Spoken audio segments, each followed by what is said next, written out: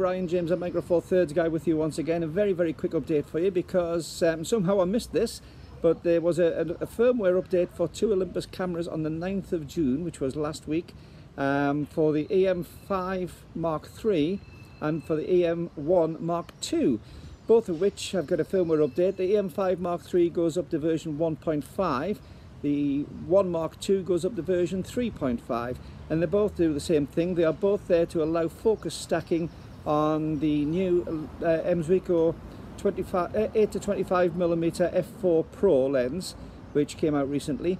So as I say, the two firmware updates for the 5 Mark III and for the 1 Mark II to allow focus stacking on the uh, Olympus 8 to 25 millimeter f4 Pro lens.